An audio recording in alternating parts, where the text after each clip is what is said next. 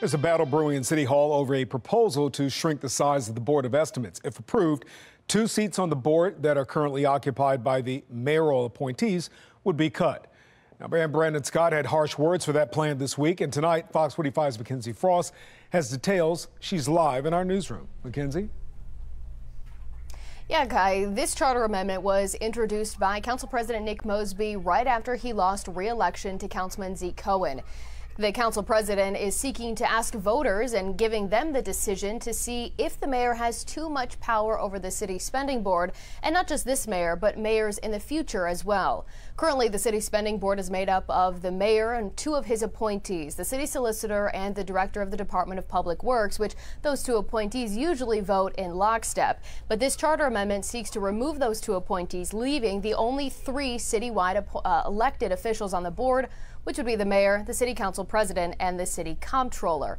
Now, yesterday, the mayor was asked about this charter amendment from council president Nick Mosby, and the mayor had some pretty interesting words.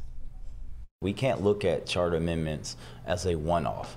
Uh, when you have folks who are uh, uh, pushing charter amendments to reduce the city council, uh, folks who push uh, charter amendments to uh, um, push term limits, who have funded super PACs. We have to look at all of these and understand how they're very interconnected. You cannot take uh, that one chart amendment that was introduced by the council president with very good intentions, and he is not trying to attack uh, uh, black political power by no means on its own. But when you look at these efforts by folks who are being funded by folks who don't live in Baltimore, right? Who are not from the city, who are trying to shrink political power in Baltimore.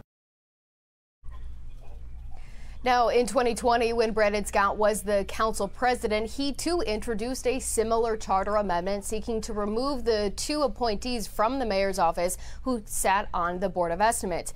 Now it's unclear exactly where the mayor stands on this specific charter amendment, but at the time when he was city council president, Brandon Scott said he was concerned that the makeup of the Board of Estimates was not rooted in democracy. Yeah, Mackenzie, uh, as far as we know, what's the reaction to the proposed charter amendment from Council President Nick Mosby? Well, I reached out to his office today and spoke with a spokesperson about getting a comment or a statement or even an interview. But as of right now, we don't have an interview lined up and I don't have a statement from his office. However, I did get a statement from Comptroller Bill Henry, who seems to be very much in support of this plan. He said that ever since he was elected to the city council in 2007, something similar has been introduced. And his statement says, quote, I think it's time to stop talking about it and do it. It's an idea whose time time has come, and I support it 100%. Now, the comptroller also pointed me in the direction and gave me three other quotes that he used in support of his position. And they're interesting. I want to read you a, one of them. Here's one of those quotes. It says, Currently, if the mayor wants a contract before the board of, to be approved, it will be approved, even when my questions are unanswered and even when the public has serious concerns. The only thing that can change this dynamic is structural change that transforms how we do business here in Baltimore. Now, that quote actually came from Brandon Scott from uh, directly from his 2020 news release when he announced his introduction of this similar charter amendment to change the BOE's makeup. As of for the council president's charter amendment, it would have to be approved by the rest of the council and approved by the mayor, and then it would head to the ballot for voters to decide in November. We're live in the newsroom. Mackenzie Frost, Fox 45 News. All very interesting, Mackenzie. Thank you. That brings us to our question of the day. Do you think shrinking the Board of Estimates is a good idea? To make your voice heard, head to foxbaltimore.com slash vote.